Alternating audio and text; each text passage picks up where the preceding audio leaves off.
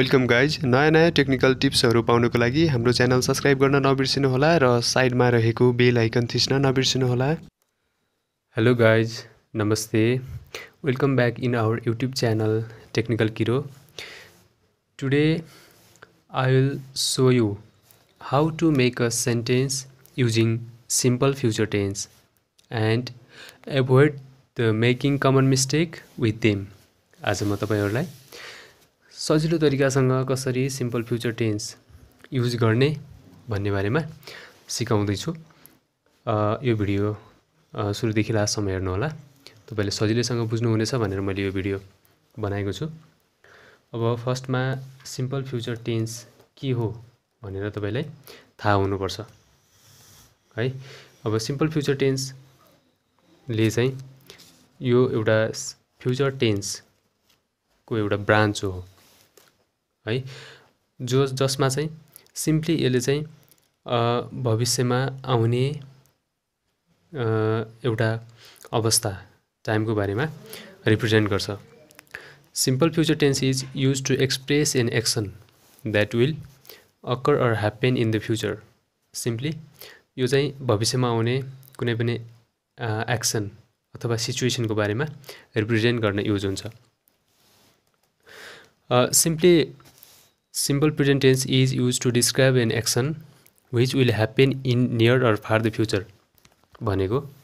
तपाईँको जस्तै अब अहिलेभन्दा दुई घन्टापछि कुनै काम हुन्छ त्यसको बारेमा सेन्टेन्स बनाउनु पऱ्यो भने सिम्पल फ्युचर टेन्स युज हुन्छ। लगायत दुई घन्टासँग मात्रै मतलब भएन कि दुई वर्ष दस वर्ष पछिसम्मको सिचुएसनमा रहेर सेन्टेन्स बनाउनु पऱ्यो भने सिम्पल फ्युचर टेन्स युज हुन्छ। अब सिम्पल फ्युचर टेन्स सामान्य भविष्यकाल भनेर हामीले सिम्पली बुझ्छौँ जसको चाहिँ दुईवटा फर्मुला हुन्छ। मेनली एउटा चाहिँ तपाईँको यो चाहिँ पोजिटिभ पोजिटिभ सेन्टेन्स बनाउनको लागि subject plus will shall plus V one plus object यो फर्ममा रहेर हामीले सेन्टेन्सहरू बनाउँछौँ। त्यसै गरी नेगेटिभ सेन्टेन्स बनाउनको लागि चाहिँ जो चाहिँ नेगेटिभ अर्थ दिन्छ त्यो सेन्टेन्स बनाउनको लागि चाहिँ subject plus will shall plus not plus V one plus object मैले पहिलेदेखि नै तपाईँलाई भन्दै आएको छु नेगेटिभ बनाउनको लागि भरभन्दा अगाडि नट थपिदिनु भयो भने त्यसले नेगेटिभ सेन्स दिन्छ।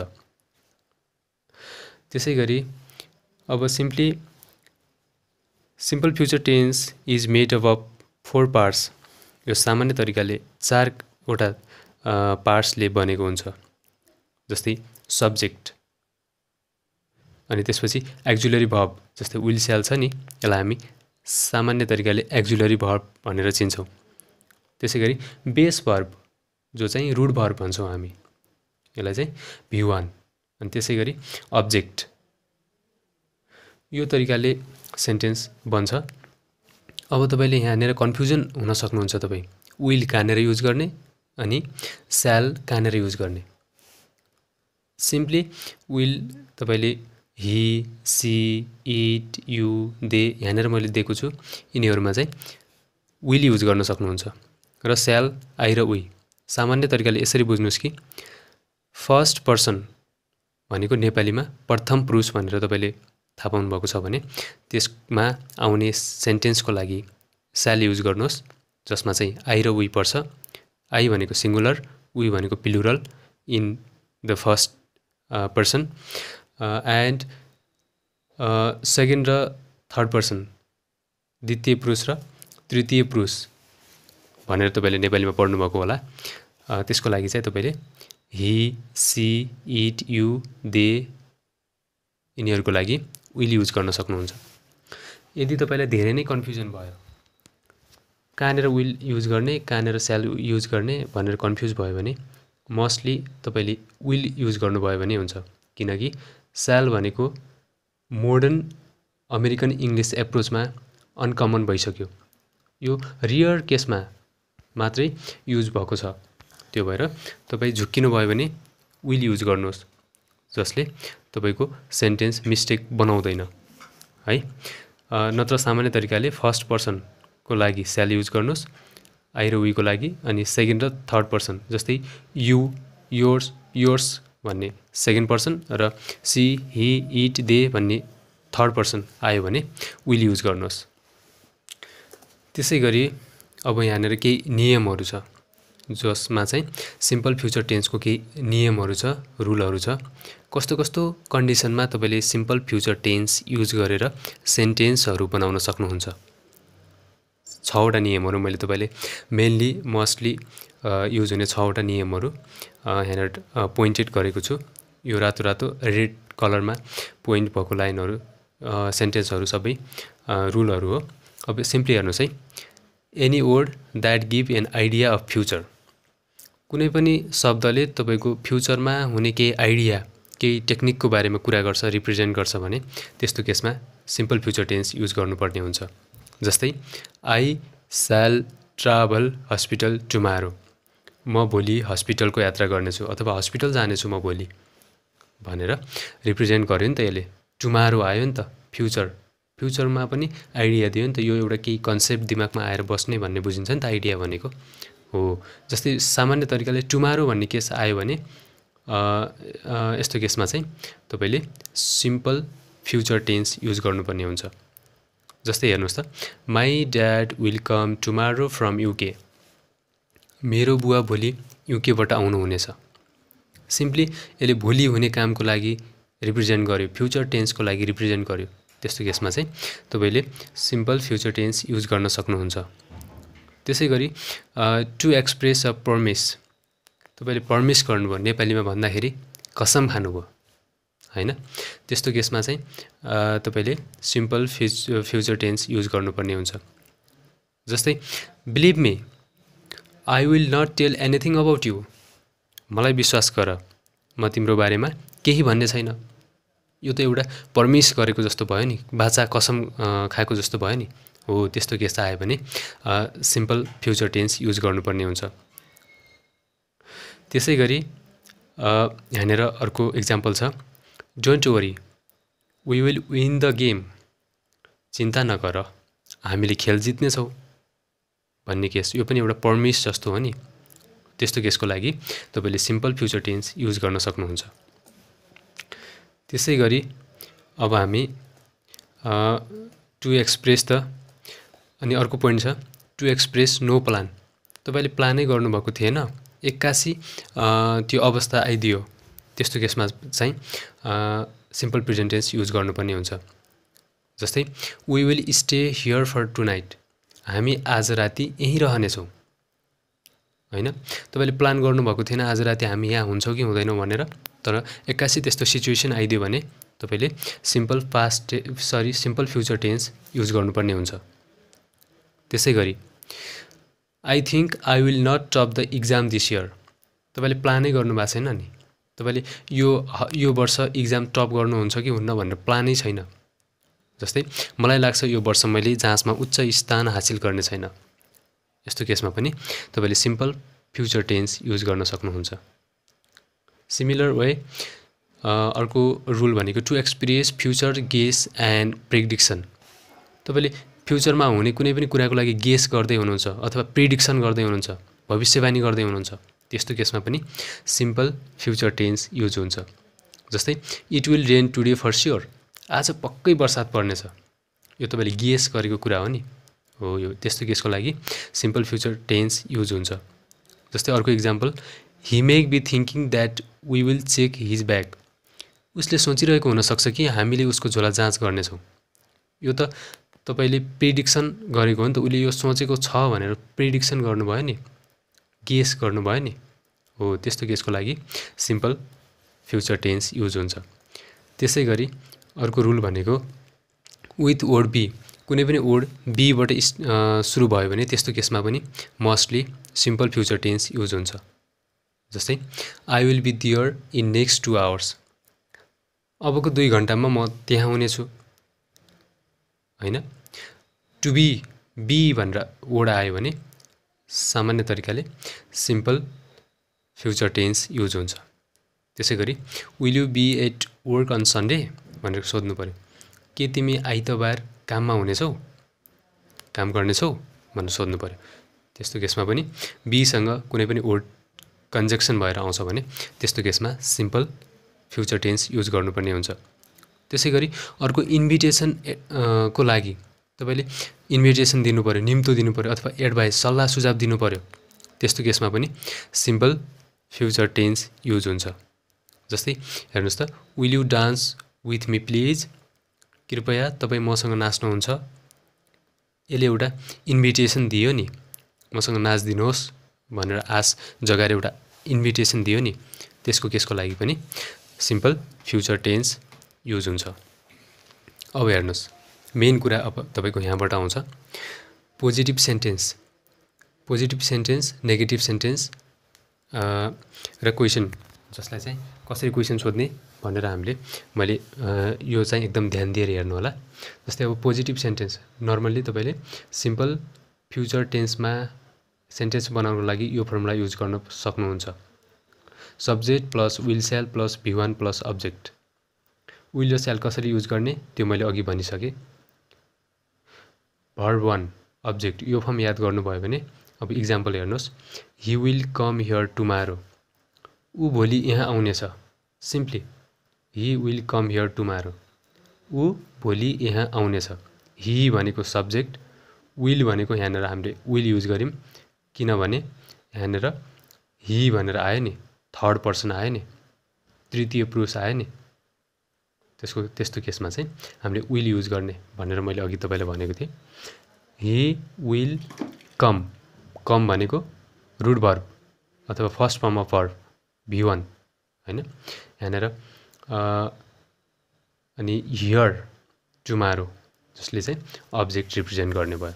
ऊ भोलि यहाँ आउनेछ त्यसै गरी अर्को example they will send us email तिनीहरूले हामीलाई इमेल पठाउनेछन् होइन? सिम्पली अथवा they will send us letter तिनीहरूले हामीलाई चिठी पठाउनेछन्।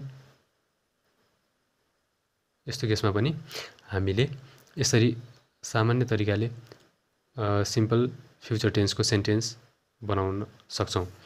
अब त्यसै गरी हेर्नुहोस् त अर्को example she will sit on the chair definitely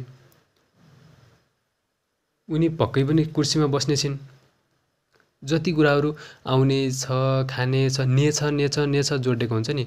आउनेछ बस्नेछ खानेछ हिँड्नेछ डुल्नेछ गर्नेछ गर्नेछौँ गर्ने छैनन् यस्ता वर्डहरू हाम्रो फ्युचर टेन्समा युज हुन्छ है। अनि त्यसै गरी we shall meet the prime minister after one week हामीले एक हप्तापछि प्रधानमन्त्रीलाई भेट्नेछौँ होइन? यहाँनिर स्याल किन आयो? यहाँनिर फर्स्ट पर्सन फर्स्ट पर्सनको पनि प्लुरल फर्ममा छ नि वी त्यो भएर हामीले स्याल युज गऱ्यौँ।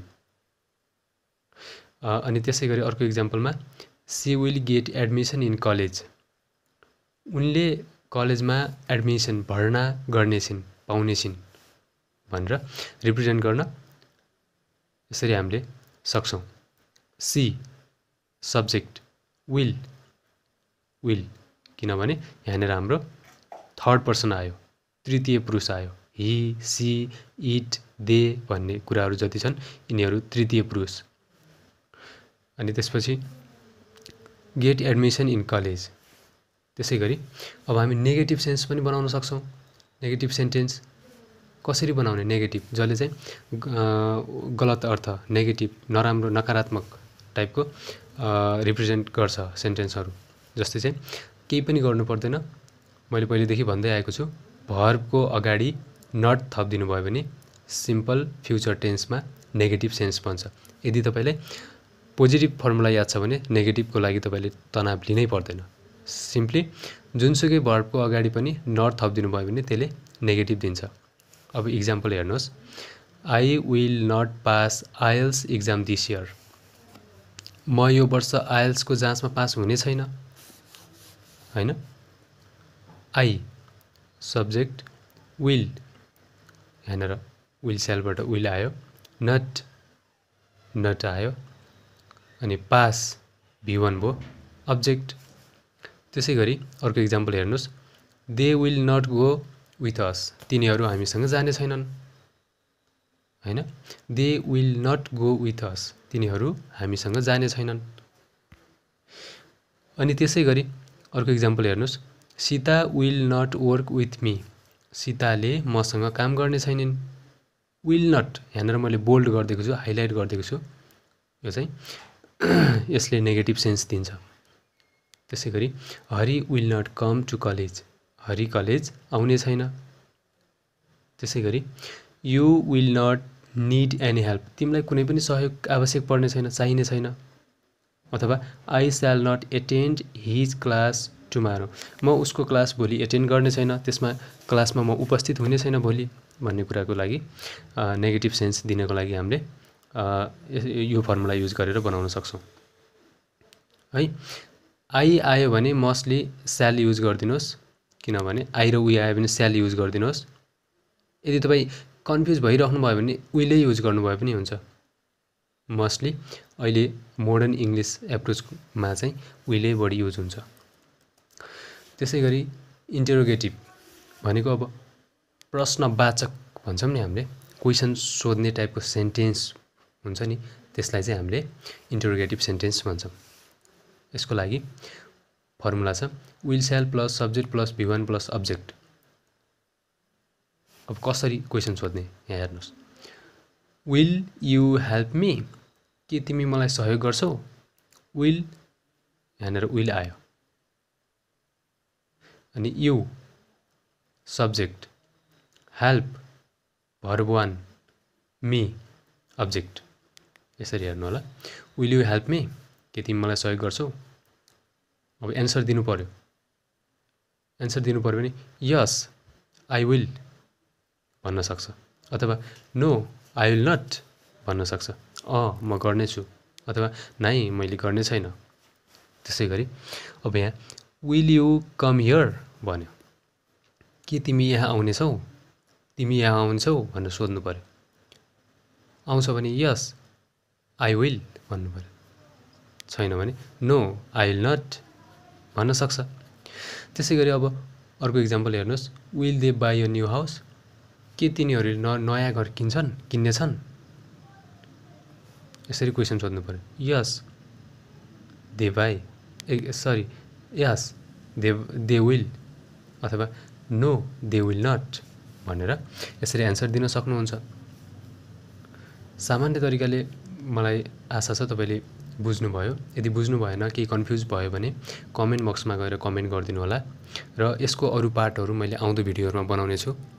मलाई चाहिँ यो धेरै साथीहरूले यसको बारेमा बनाइदिनुहोस् भनेर कमेन्ट धेरै आयो। त्यो कारणले मैले सजिलो तरिकाले तपाईँलाई बनाइदिएको छु। अब हाम्रो च्यानललाई चाहिँ सब्सक्राइब गर्नुभएको छैन भने सब्सक्राइब बटनमा थिचेर सब्सक्राइब गरिदिनु होला जसले गर्दा हामीले अपलोड गरेको नयाँ नयाँ भिडियोहरू तुरुन्तै तपाईँले एज अ नोटिफिकेसनको रूपमा सजिलै पाउन सक्नुहुनेछ र सब्सक्राइब गरिसक्नु भएको छ भने लाइक गरिदिनु होला सेयर गरिदिनु होला अथवा केही कन्फ्युजन छ तपाईँले चित्त बुझेको छैन भने कमेन्ट गरिदिनु होला। आई विल हेल्प यु अहिलेसम्म हाम्रो भिडियो हेर्नुभयो। त्यसको लागि धन्यवाद। प्र्याक्टिस गर्दै जानुहोस्।